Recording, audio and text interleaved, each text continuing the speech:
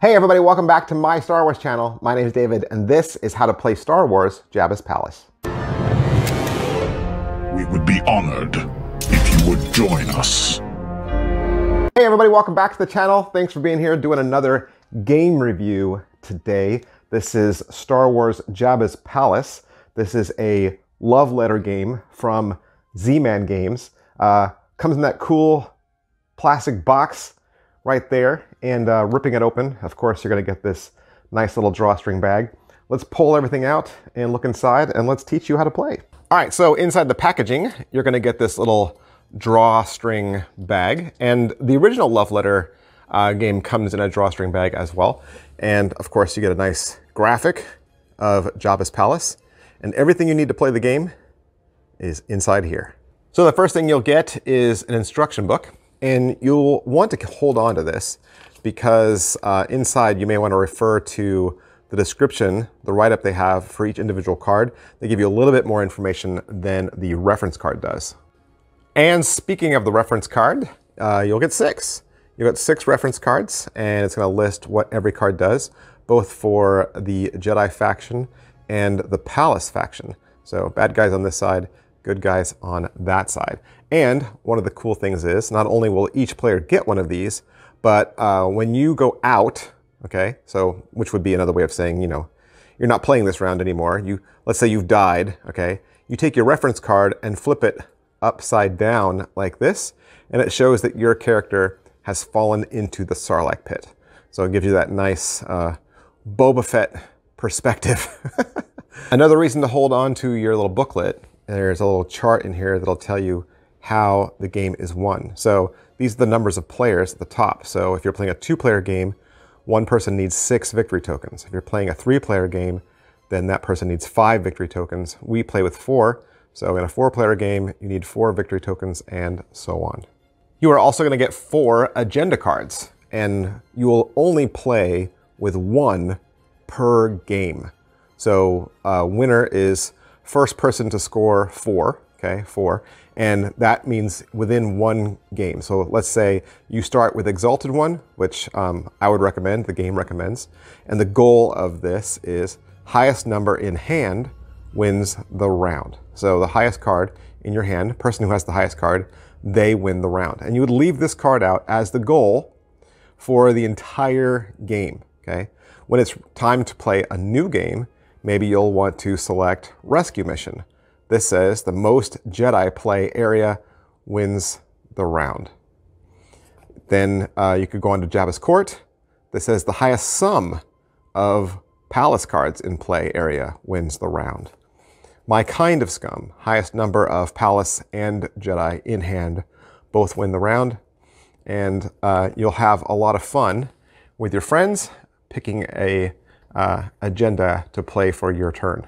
And speaking of winning, you'll get victory tokens. So let's say you score on a particular round, you'll get a victory token to uh, keep track of that. So uh, that will determine who wins the game at the end. And then your draw pile is going to be 19 of these character cards. There's Lando, there's a Gamorrean Guard, C-3PO, Luke Skywalker, Salacious Crumb, uh, Han Solo in Carbonite, Bib Fortuna, uh, Boba Fett, Let's see if I missed one. There's Chewbacca. There's a Mercenary, uh, R2-D2, and the Rancor, Leia, and there should be one more. Yep, Jabba the Hutt. All right, so now that we know what everything is, let's set up a quick uh, three-player game, just so you can see kind of basically how this works. Uh, we're gonna move all the scoring tokens off to the side, and we're gonna shuffle up our draw pile. We have our goal, right? Everybody knows that the goal here is highest number in your hand wins the round. And that's with a single card, by the way. One single card left in your hand, highest number of the people who are left uh, wins. And then everyone's going to get one of these reference cards. All right, so everyone's got a reference card. The tokens are within reach of everyone. We've got our goal out and our draw deck is shuffled. First thing you're going to do is you're going to take one card off of the draw deck and place it off to the side out of play area. Why do you do that? Well, because now there's one card missing from the game and nobody knows what that one card is. So there won't always be a game with, uh, let's say, Jabba the Hutt in it, or there won't always be a game with Han Solo in it. it could this card could be anything.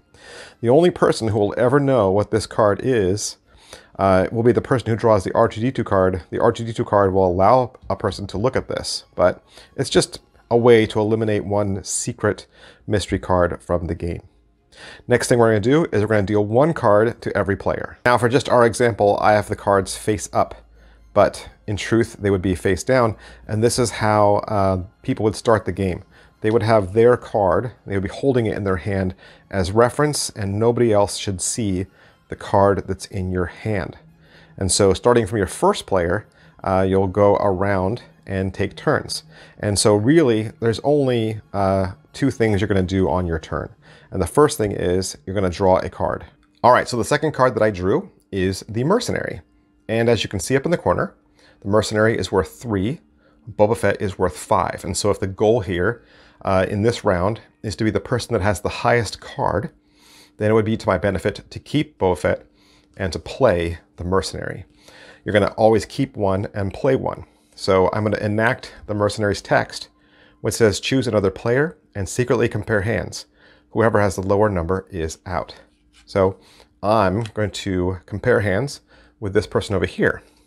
And so I'll secretly show them my five, and this person will secretly show me their one.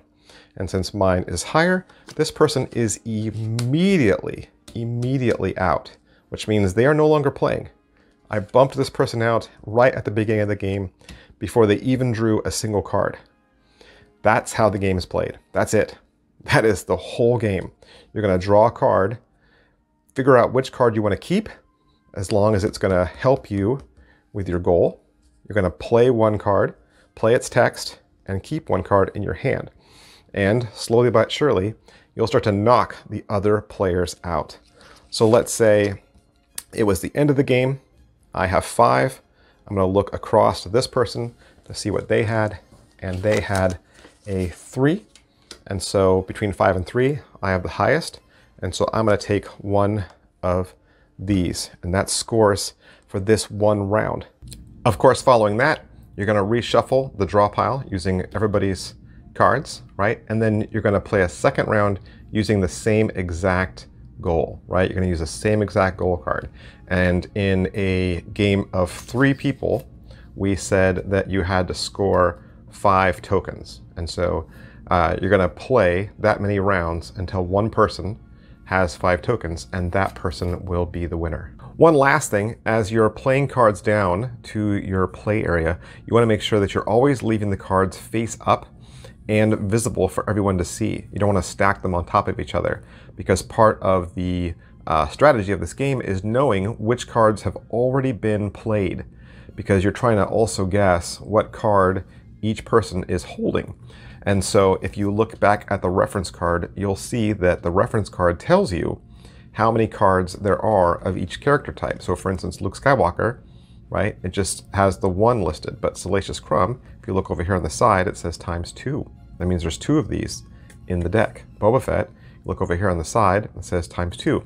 So you know there's two Boba Fetts in the deck, which means if you're looking around the table at other people's play area and you already see two Boba Fetts, then you know that nobody else has that in their hand. All right, hopefully that gets you going. That gets you off and running so that you can start playing this really fun game. Games don't take that long, uh, maybe 20, 25 minutes or so. And if you have any questions at all about rules or gameplay or just Star Wars in general, uh, you can go ahead and comment down below. I love comments and I'll respond when I can. Thanks, guys. May the force be with you. I'll see you next time. Bye.